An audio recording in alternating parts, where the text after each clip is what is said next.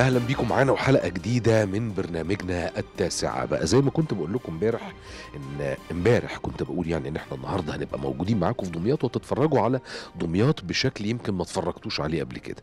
ما أقدرش أجزم إن كل المصريين زاروا دمياط. لا.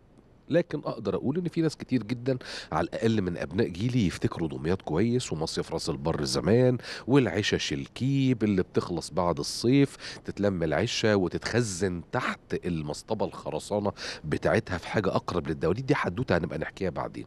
إحنا دلوقتي موجودين فين؟ إحنا دلوقتي اولا موجودين على اللسان بتاع راس البر الشهير على شمالي حضرتك يا كابتن لطيف؟ على شمالي هتلاقي كده البحر وادي الفنارة الشهيرة بتاعت راس البر اللي هتلاقيني مشاور عليها كده هناك مش عارف إذا كانت الكاميرا جايباها ولا لأ.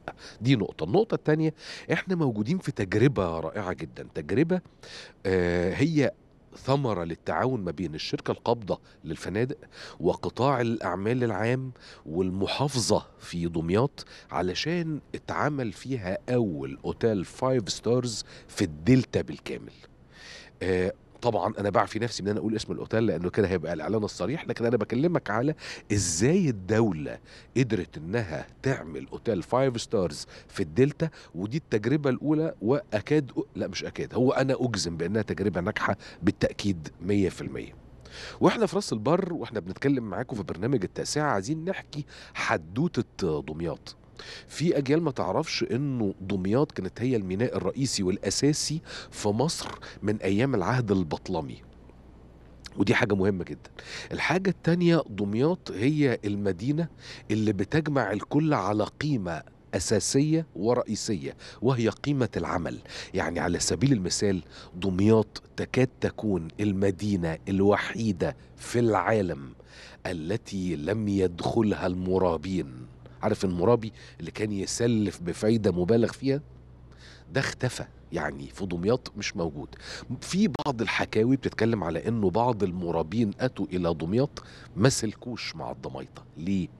الدمياطي عدل وبتاع شغل وما يستلفش. وممكن ما يسلفش كمان بالمناسبة لأنه بتاع شغل.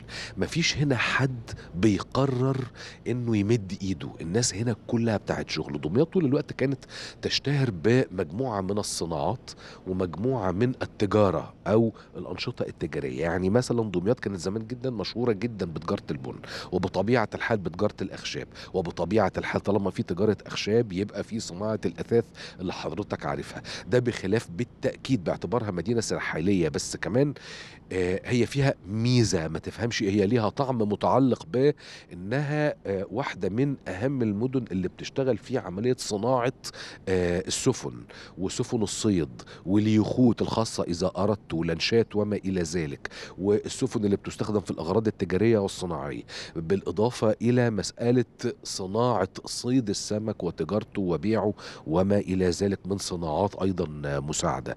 كمان صناعة الألبان والأجبان ومنتجاتها وهكذا. دمياط عبارة عن خلية كاملة متكاملة. دمياط تقدر تعمل اكتفاء ذاتي بالمناسبة من كل حاجة لأن دمياط كمان عندها ظاهرها الزراعي ودي برضو حاجة مهمة جدا يعني. في ناس هتيجي تقول لك أنت عندك انحيازات لأنك أنت طالما أعلنت إن أنت ابن لسيدة دمياطية آه طبعا عندي انحيازاتي ناحية دمياط والتي لن تباريها حيا... انحيازي أو لن يباريها أي انحياز. لكن خلوني هكمل معاكم الحدوتة الدمياطي وإحنا موجودين معاكم في التاسعه إحنا قبل كده لو تفتكروا كنا موجودين معاكم من كام شهر في في أسوان. وخدنا قرار إن إحنا هنقعد نلف شوارع محافظات آه، قرى مصر آه، مش بس القاهرة واسكندرية ودمياط والمدن الكبيرة إحنا هنلف في كل حتة علشان بس نحكي الحدوتة بتاعت كل منطقة مصرية.